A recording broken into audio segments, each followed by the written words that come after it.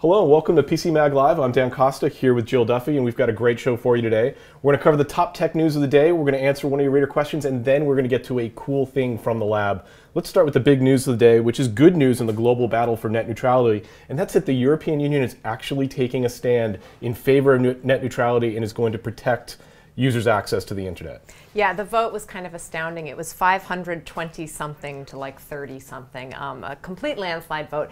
And nice to see this happening in the in, in the European Union. I in mean, it's not really happening here in the United States. Not but at all. It's really an issue, I think, of equal access. Um, so keeping the internet open for people to use, not throttling different speeds to provide um, preferred service for some websites, yeah. things like that. Which a lot of the streaming services are now in the US having to cut deals with cable operators in order to provide that premium service.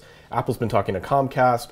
Uh, Netflix has been talking to Comcast. You know, this is basically an entirely new model, and if, if we can follow in the Europeans' footsteps here, it could be a huge thing for net neutrality. Well, you know, for Americans, I think there's a real emphasis on business and the kinds of profits that businesses can make. So imagine if you had an internet package where you could say, I only want access to these 10 sites, and I'll pay a certain fee for just that. Um, it's a little bit frightening for me because I think that part of the beauty of the internet is this open access for all. Um, but I think that certain companies would definitely want to have those kinds of packages where they could have deals with different mm -hmm. businesses and website owners, um, sort of sell out those services in, in different packaged ways.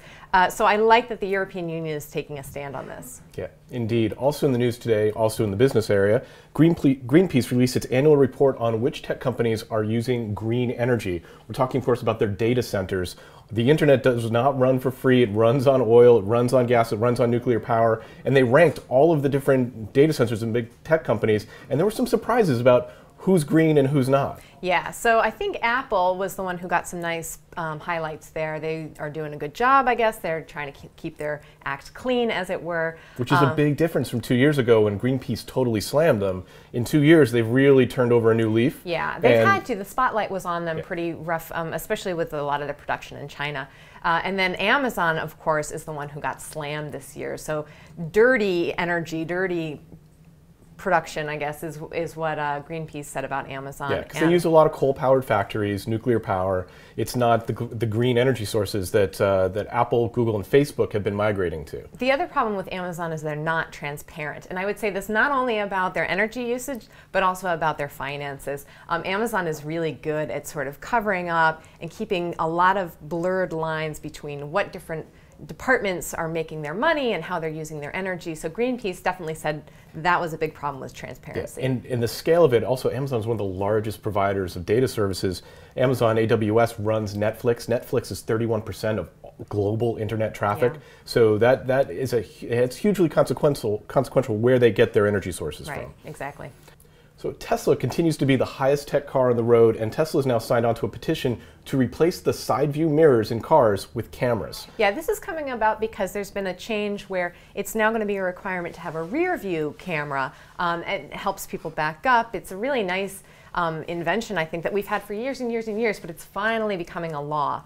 Um, so Tesla's going to take on this battle to get rid of side view mirrors and put them also as cameras. I mean, the bonus, the benefit being you're going to get a much more aerodynamic vehicle, which is going to save on fuel, improve fuel economy.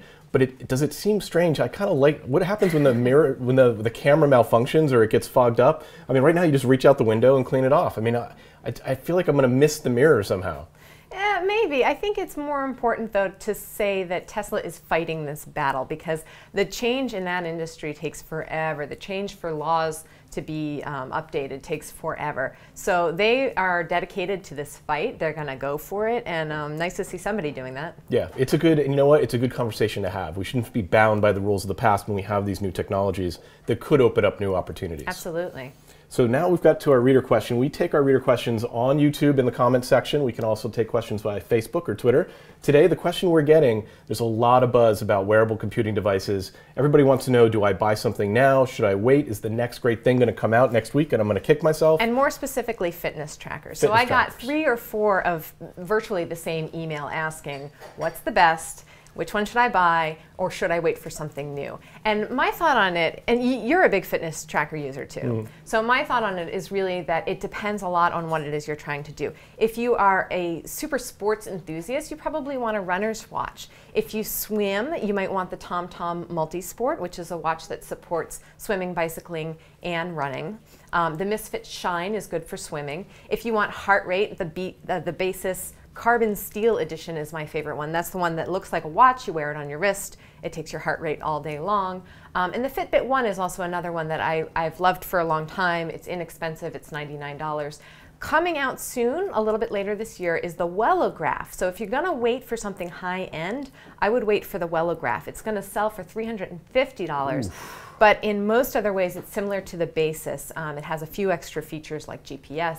And then the Samsung Gear Fit is also coming out pretty soon. Um, you'll need a Samsung specific phone to use that, so it's more of an accessory to the phone than it is a universal fitness tracker. But those are the two that are sort of like hot on my list of things coming out soon. But uh, it, my problem with these trackers is all the data usually resides in different places. They don't all talk to each other. It's hard to sort of collate it. You go with one platform you're kind of stuck with it for a while. Yeah, I think Fitbit is one of the better um, companies that is addressing that by having lots of apps that connect to lots of different things. Actually, the Jawbone Up 24 is pretty good for that too. Very cool.